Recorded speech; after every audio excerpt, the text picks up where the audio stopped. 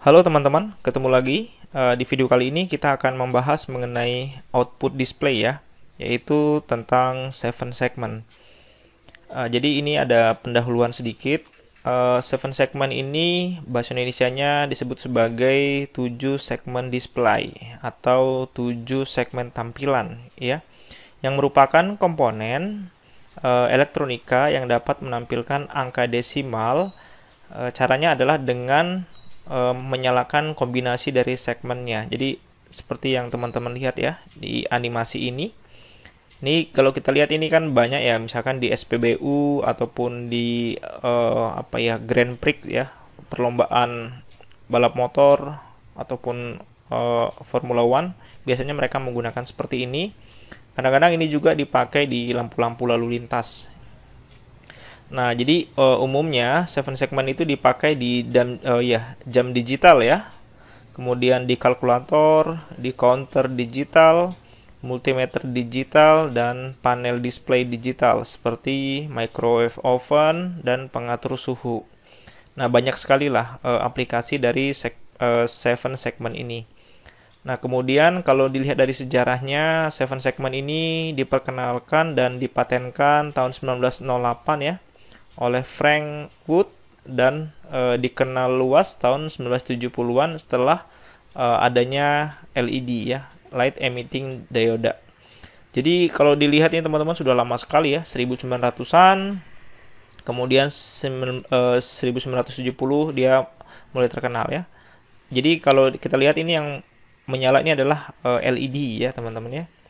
Kemudian berdasarkan jenis uh, katoda ya, itu ada dua uh, yang digunakan yaitu LED 7 segment yang common katoda dan LED 7 segment yang common anoda. Nanti kita lihat perbedaan dari masing-masing uh, katoda ini ya. Nah, kemudian uh, ini adalah uh, tampilan dari 7 segment. Mungkin teman-teman sudah pernah lihat ya. Jadi di sini ada kaki-kaki ya, kaki-kaki pinnya. Ini bisa kita lihat di sini teman-teman.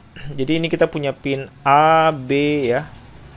C, D, E gitu ya, F ya dan seterusnya. Jadi pin pin-pin ini bersesuaian dengan uh, yang sudah saya buat ini ya. Jadi ini adalah pin G, ini ada pin F ya. Sebelah sana adalah pin uh, VCC atau ground ya, tergantung dari jenis katoda yang digunakan.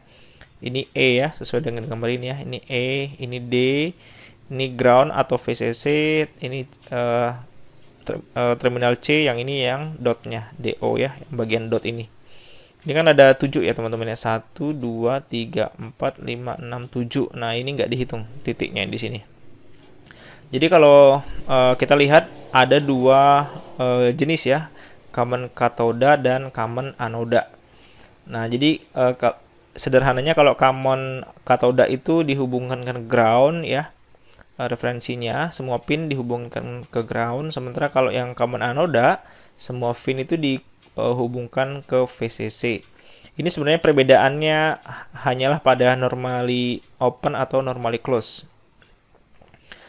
Nah, ini lebih detail. Jadi kalau misalnya kita bicara mengenai uh, tipe yang common anoda ya. Jadi kalau pada common anoda itu kaki anoda pada segmen LED itu dihubungkan menjadi satu pin. Jadi kalau digambar ini teman-teman, nah ini kita bisa lihat ya, dia menjadi satu pin semua digabung ke satu kemudian diberikan tegangan positif ya. Kemudian kaki katoda itu menjadi input untuk masing-masing LED ya ini kaki katodanya ya. Nah, kemudian e, sinyal kendali atau kontrolnya untuk menghidupkan atau mematikannya akan diberikan pada masing-masing kaki katoda segmen LED-nya. Jadi di sini ya diberikan sinyalnya. Nah, jadi kalau animasinya seperti ini teman-teman, ini untuk yang e, common anoda ya.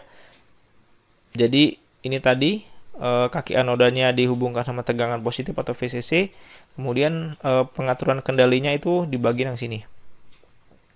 Ya. Jadi dihubungkan ke ground uh, pengendalinya.